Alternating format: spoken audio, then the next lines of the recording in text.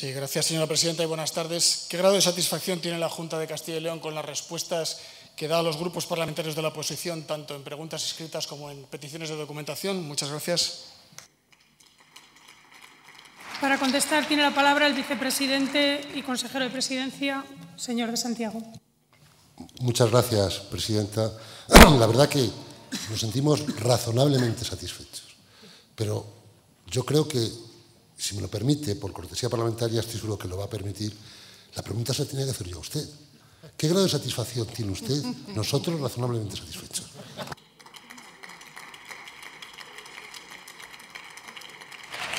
Para un turno de réplica tiene la palabra el señor Izquierdo Roncero. Vamos a ver si soy capaz de contárselo, señor vicepresidente. Mire, nosotros no nos acostumbramos a que mes a mes nos, engañen con la información o con la slide incompleta. ¿no? Preguntamos todos los meses por la lanzadera financiera, quiénes son los solicitantes, los beneficiarios, las entidades financieras que financian las ayudas, los préstamos que están incorporados en ese programa y las respuestas son siempre genéricas y globales. Nunca se contesta exactamente a lo que pedimos. Como esa podría citarle muchos ejemplos de preguntas que se contestan de manera incompleta. Pero mire, eso nos molesta, pero a mí particularmente, a mis compañeros, nos molesta algo más la mentira. Y le voy a poner algunos ejemplos. Mire, nosotros le preguntamos hace un año aproximadamente, un año y pico, por cuánto habían pagado a la empresa Alberto Esgueva Sociedad Limitada, que durante un tiempo fue la administradora como sociedad de la empresa pública Excal en la persona de don Alberto Esgueva. Y ustedes nos contestan que no les contesta, costa pago alguno en todo el sector público, con aclaración incluida que le pedimos por escrito y que nos remitieron. Bueno, hasta el propio Consejo de Cuentas dice en su informe que cobró 56.000 euros como persona física y a razón de 11.600 masiva en el tiempo que cobraba a través de esa sociedad unipersonal interpuesta. ¿Cuándo mienten, señor vicepresidente? ¿Cuando nos contestan a nosotros, cuando aprueban las cuentas de SCAL o al remitir la información al Consejo de Cuentas? Segundo ejemplo, nosotros les preguntamos cuánto han pagado ustedes a Urban Proyecta PM3 y a Parqueolit Promociones. Respuesta idéntica, no les costa pago alguna cuando está la intervención general de la Administración del Estado diciendo que han pagado 70 millones de euros por la perla negra, señor vicepresidente.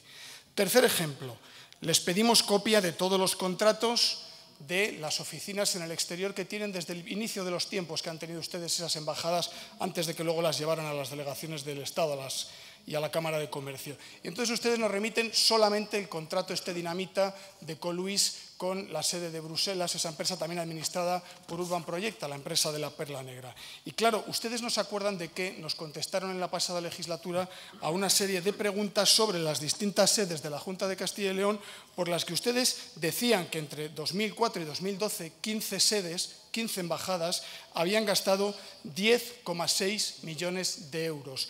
3,25 en alquileres, según sus respuestas. Entonces, ¿por qué no nos dan los contratos? ¿Cuál es el problema? Claro, a mí me gustaría también que me aclararan, porque me sorprende mucho, nos tienen que aclarar si compraron o alquilaron la sede de Varsovia. De esos 3,25 millones de euros, 937.000 euros en la sede de Varsovia, en ocho años. Yo creo que el mercado inmobiliario en Düsseldorf está más caro, y el de Nueva York también, que el de Varsovia, y por eso me sorprende, porque allí solo pagaron 122.000 y 157.000 euros por alquilar sedes. ¿Qué hicieron en Varsovia?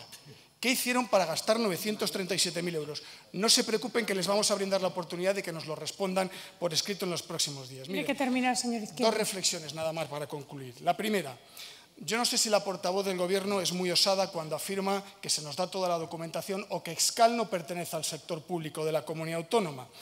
O sencillamente si la engañan ustedes terminar, cuando, va, cuando, va, a las ruedas de prensa. Está muy feo engañarnos a nosotros, pero que lo hagan entre compañeros yo creo que todavía es mucho más feo. Y segunda, contesten a nuestras preguntas de forma adecuada porque si no acabarán dándoles un 10 en opacidad internacional. Muchas gracias.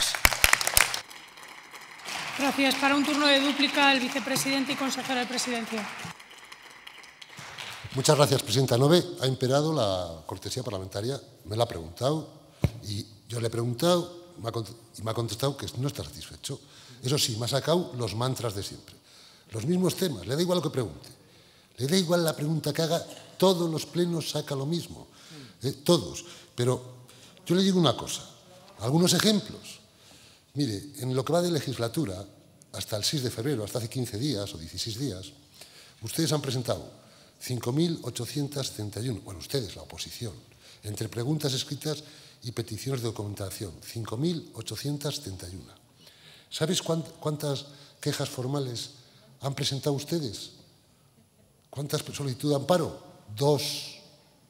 Dos. Una ustedes, sí, sí, una ustedes, otra el Grupo Podemos y luego ustedes a mayores en una ampliación de documentación. Yo no sé luego cómo cuenta esto. Una a ustedes, de 5.871. Y aquí viene contando que no le contestábamos, pues, pues aplique el reglamento, solicite, el amparo de la presidencia o de la Cámara. Si no le contestamos. Una vez solo lo han hecho, una vez. Pero le voy a poner dos ejemplos, porque es bueno que lo sepa. Esto en cuanto a quejas formales. Informales, que es hablarme, llamarme a mí, preguntarme, pararme en los pasillos, llamarme por teléfono, que lo hacen con mucha frecuencia para otros temas, todos ustedes, y siempre me pongo, para esto nunca. Para otros temas lo hacen con mucha frecuencia. Todos ustedes, y me parece bien, y lo acepto, y me parece estupendo que lo hagan. Y yo siempre le respondo. Pero para esto nunca. Pero dos ejemplos. Eh, ustedes, antes de julio, la primavera pasada, ¿Se acuerdan cuando pidieron que eh, la cuenta general en el concepto 226, las famosas chuches y, comilonas en Casalucio? Sí, se acuerdan, ¿no? Bueno, pues dieron ruedas de prensa, anunciaron que iban a ir al fiscal. Lo llevaremos al fiscal, dijo su portavoz. Dijimos, bueno, pues les dimos acceso directo. ¿Sabe cuándo? El 27 de junio. ¿Sabe cuándo han ido? Todavía no han ido a verle. Han pasado solo ocho meses. Claro, ya habían quemado el asunto, ruedas de prensa, irán al fiscal. No han ido a verlo. Estamos esperando ocho meses. Lo mismo hicieron con las bufandas, las ratificaciones. Un año, tardaron un año en irlas a ver. Y este último año, en esta última legislatura, solo han tardado seis meses. Mire, si no le gusta, cambien el reglamento. Nosotros cumplimos escrupulosamente el reglamento. Si no les gusta, cambien el. Ya lo hicimos ustedes y nosotros en 2005, hace 12 años. Y aprovechen ese cambio de reglamento para meter un código ético y de austeridad para esta institución que las demás ya nos lo hemos dotado y una limitación de mandatos. Muchas gracias.